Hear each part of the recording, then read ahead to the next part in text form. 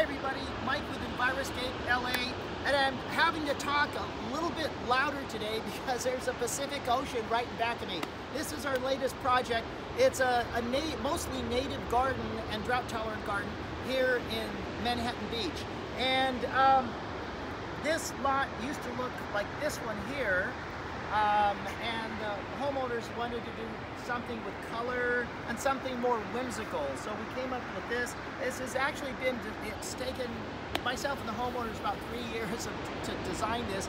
But it, uh, there's a reason we wanted a native garden. The reason we wanted a native garden is because it attracts the pollinators and it attracts the, the good bugs that are good for the soil and good for the environment.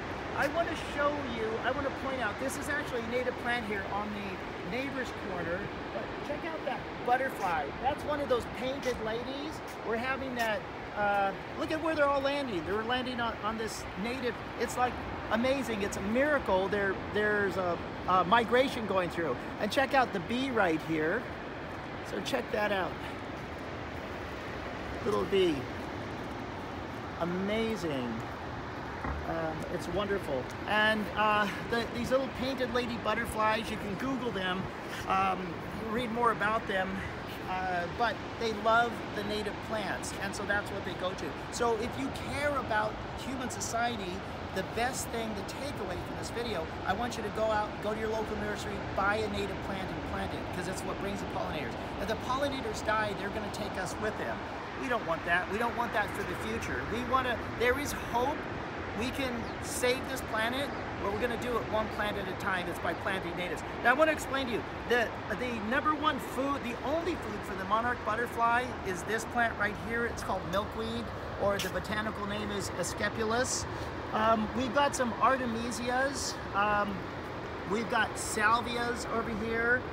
We've got uh, the, the non-natives here are the these guys right here they're called uh, Jerusalem sage. It's Phlomis fruticosa. Uh, but we like this because a homeowner realized that, you know, I got to have some color right now, and it's got a beautiful, beautiful yellow color. These are called lupines, and they're brand new. We'll do another YouTube video follow up to this when they start blooming, but they're gorgeous cone flowers. Um,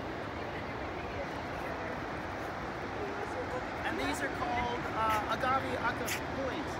Um, yeah, that's it. Oh, and in the back we have the uh, coyote bush. So just a fabulous, fabulous native landscape, and it's gonna, we just finished. Now, what's interesting is with every native garden you put in, what do natives like?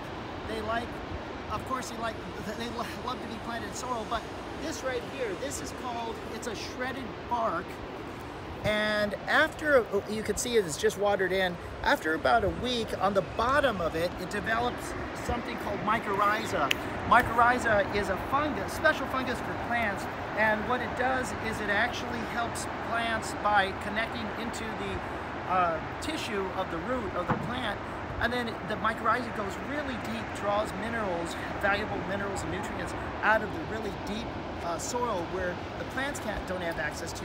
They push it into the root and in return, because these plants are photosynthesizing, they're creating carbohydrates and sugars, they're giving a little shot of sugar back to the mycorrhiza. So it's, it's a network. I'll tell you, uh, if you, eh, you know, people will take credit today saying, I invented the internet, or somebody else will, will make the claim to it.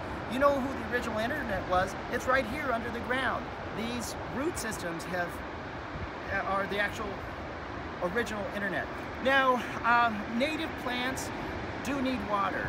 It's there. It's not that they're drought preferred, they're drought tolerant. They tolerate it, but they like water now and then.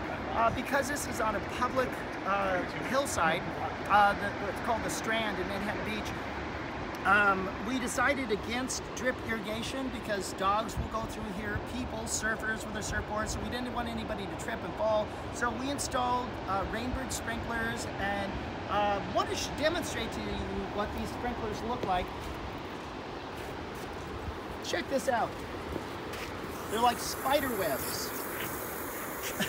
so they, so I could leave these sprinklers on for 12 hours and check out that check out that flow. I can leave them on for 12 hours and they won't cause, they won't have any, they won't have any runoff. They'll be, the water soaks into the ground. And so these, these little stream rotors are just fabulous for uh, this type of application where you have a hillside. If I put regular sprinklers here, within 10, 15 minutes, the water would just erode down into the strand. That would not make anybody happy. You know, I'm so amazed because I hear birds, which you normally don't hear in the big cities, but I hear birds right now. But check, let's get another shot of these butterflies again.